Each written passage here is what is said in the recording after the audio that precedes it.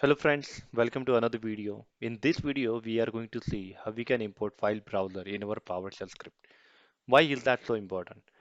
You have seen in every script, this line is always be there and the path we have to specify manually, right? So uh, by mistakenly, suppose you run the script in PowerShell and you didn't change the path. So uh, you have the risk, right? Uh, on which computer you are running the script.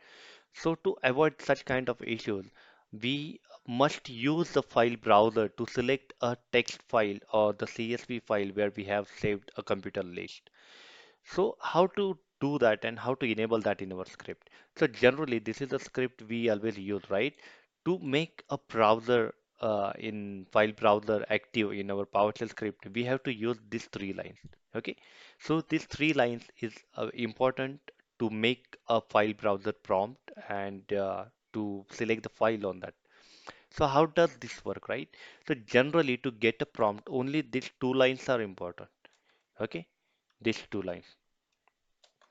Now let me uh, show you like how does it work. So if I run this script, it will prompt you for the file and you just have to select the file. And you can see here we have got the reply OK, right?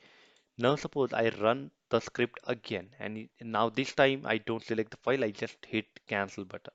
And you can see I press the cancel button here. Okay. Now if I want to run this file uh, through the PowerShell, how does this work, right? So let me give you the pause command here so it will be visible okay uh, what is the file browser text okay fine okay if I run this with the PowerShell see it is giving the object like new object cannot find type and this is the open file dialog so it is giving the error. So that is the reason we have to use this command add hyphen type. So assembly name system.windows.form so what is this? This is a .NET framework class that we are using here.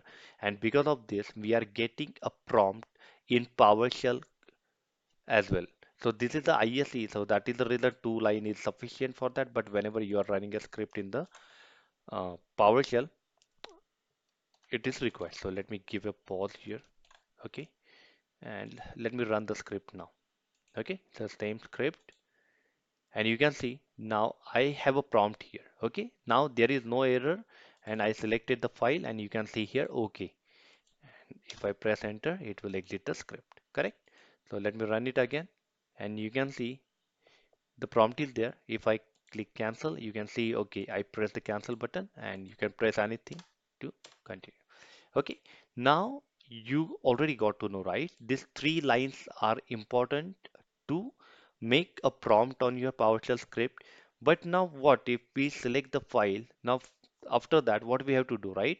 So our PowerShell script know okay this is a text file that we have to use for the server's path or for the server list something. Okay? So for that we have this script. Okay? So what we are doing here? So let me explain one by one here. Okay? So whatever the prompt we are getting here okay? So suppose I got this in a show dialog box right? So let me hit enter here and let me run only this part like we have to see exactly what we are getting from this variable. If I run this, you can see here. So currently it is blank because uh, the file path you can see here. It is empty because we didn't selected any file, right? So let me again run it and let me select the file this time. I want live PC's text file. Okay, I selected that. Now what it is? Okay, it have given the file name and file name have the full file path here. Correct? See.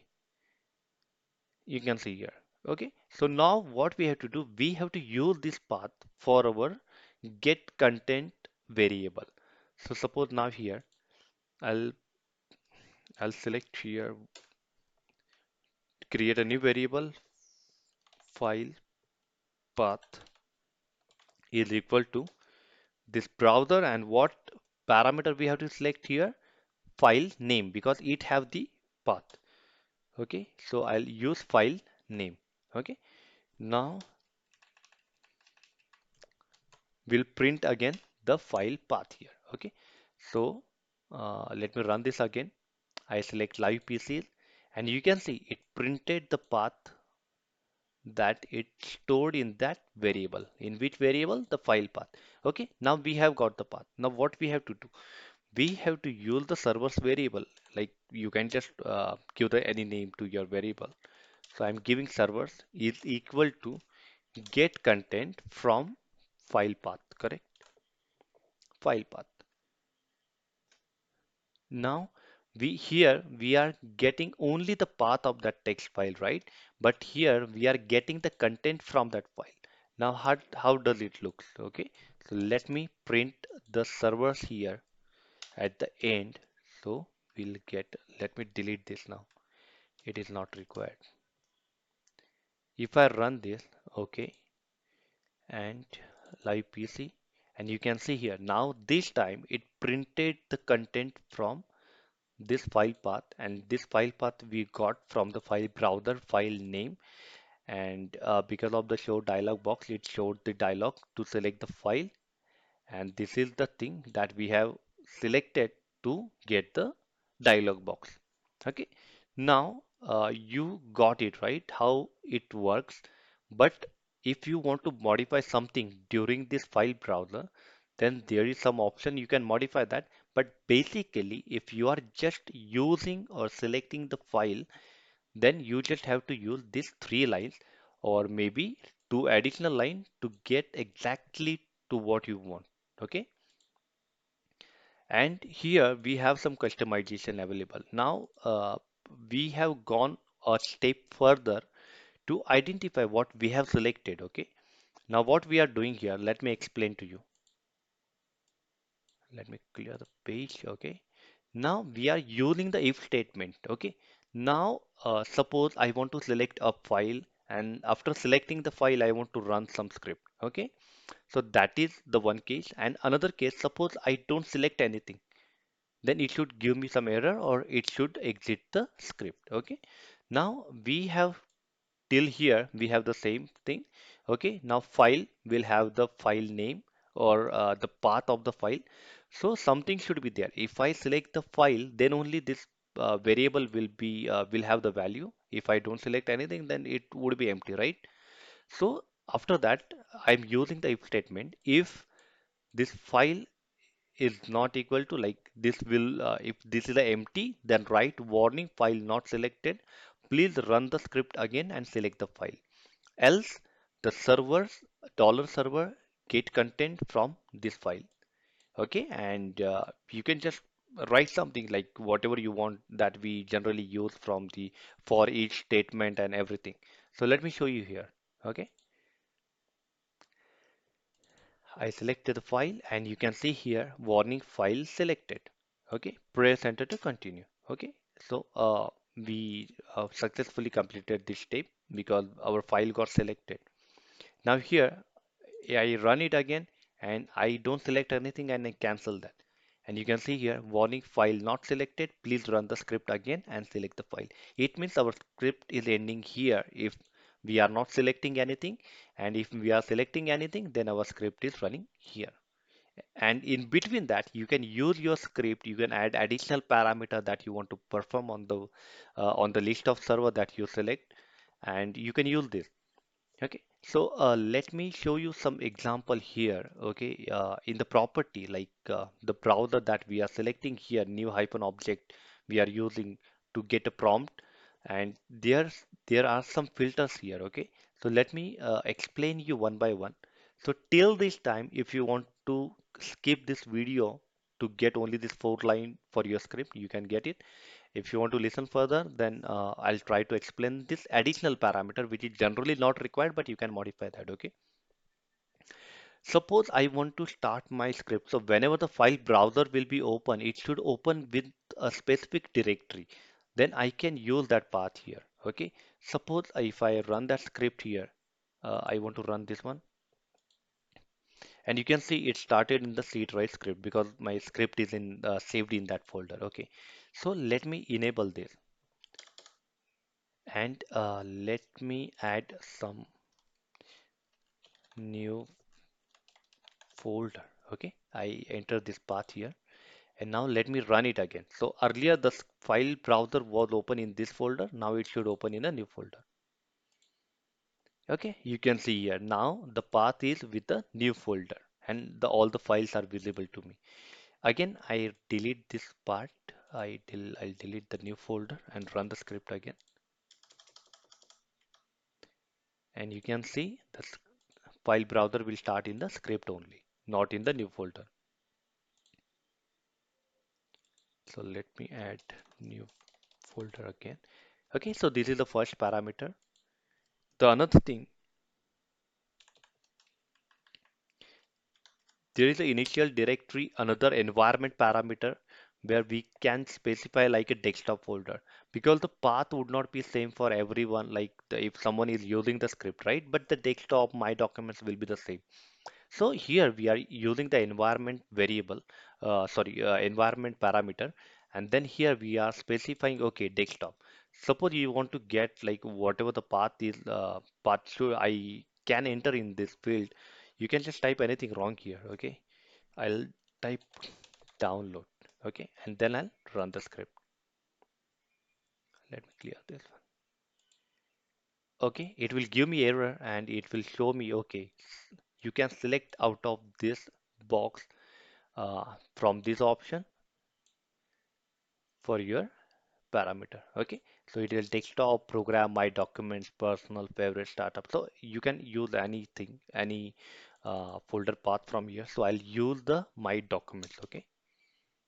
Now if I use my documents it is the correct uh, option. So it won't give me error and it will directly start the script from my documents. If I run this you can see here it started with the document if I specify here desktop and if I run the script it will open in a desktop. You can see here. So according to this you can use this initial directory uh, environment variable uh, to get a specific folder for your script. Okay so let me hide this as well now suppose you want to give a title okay so let me explain that so let me stop let me remove the pause button here I don't want okay uh, fine so now let me show you You can see here, uh, there is no title for this. Uh, it is just showing open, right? This is the default behavior. So if you want to customize that and if you want to give any title to your script, you can just use the title parameter here. And how you will use that? You just enable the title is equal to select file to open or anything, any message you can write here. And if I run the script again, you can see select file to open text here, right? So let me change it to something else.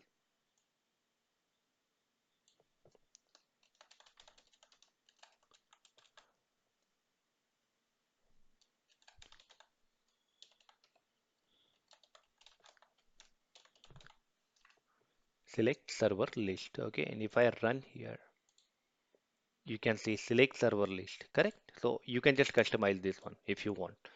Now another thing, we are using the filter parameter here.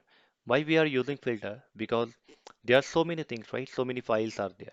I just want to select specific the text file or the CSV file. So how can I do that, right? I have to use this filter variable parameter here and equal to here you can specify any name. Okay, so there are two part uh, before the pipe, after the pipe. Okay, so uh, before the pipe, whatever you will be used, it will be visible in the drop down list. So let me directly run this and you will understand that whatever we have specified here, that will be visible during the file selection box. And this is the type that you will be able to see that. Okay, so just understand this different. I have given here the server list. Okay, you can you can specify anything. There is no problem. So let me run this and you will see the different here. So earlier this line was till this here, but now we have this drop down option. Okay, and it have the character that we have specified here in the first part. Exactly same. Okay, so let me cancel it and again I'll run. Uh, I'll show you something. select file okay I'll, I'll give this and let me run it again and you can see here select file now but the different here is what I want to show you here that suppose okay let me delete this one okay if I run it right now uh, it will only show the select file. And what file should be visible to us that we will specify here okay? So okay so we have a excel file here and we have a text file here. So what I'll do will I'll just give the text file. Okay and now if I run the script it will only show me the text file and nothing else okay you can see here. The excel file gone.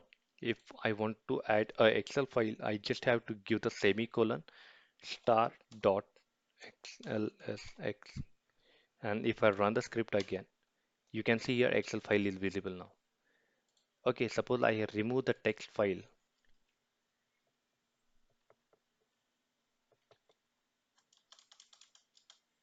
Okay if I run the script now the text file will not be visible and only the excel file will. So you can use this filter if you want like uh, if you have some such requirement where you just want to visible some text file or csv file for your selection.